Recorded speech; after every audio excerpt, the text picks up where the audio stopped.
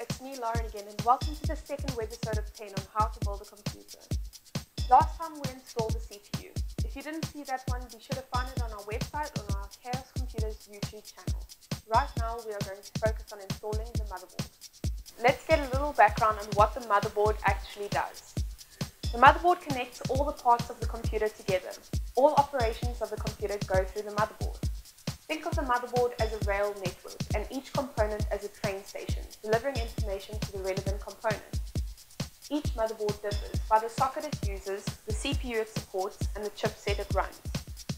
Using our train analogy, the chipset is the control room. The more complex the control room, the more trains it can handle. Motherboards come in different sizes, from the tiny mini ITX up to the micro ATX, full ATX, and the giant eATX. It is important to ensure your board will fit into your chassis, so make sure that the chassis and board are compatible. Just ask any of the Chaos team, they will be able to advise you. On this occasion, we'll be installing a socket 1156 micro ATX board, namely the Intel H55TC or Tomco.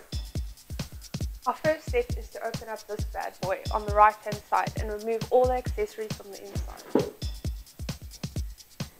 Inside, you'll find an assortment of different size screws and some other bits and pieces.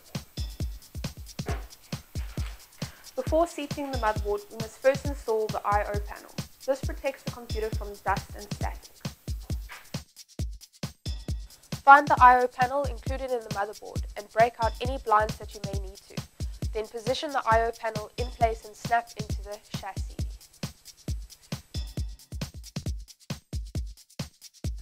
Find the gold-colored hexagonal screws and screw them into the holes in the chassis. Ensure you only screw them into the holes that line up with the holes in the motherboard. Seat the motherboard into the chassis ensuring each hole sits on a mounting post.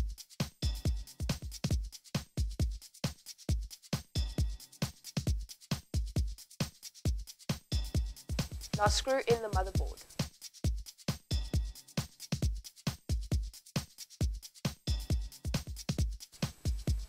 Once the motherboard is securely in place, we need to connect all the front panel ports and lights.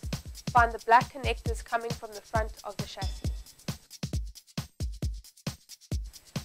Using the manual for your motherboard, connect the front USB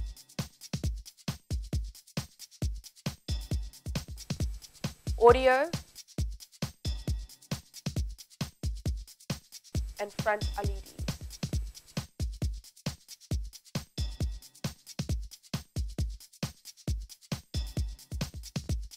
The motherboard is now installed. In our next installment, we'll be installing the memory. Be sure to check it out and rate this video on YouTube and share it on Facebook. Cheers, see you next time.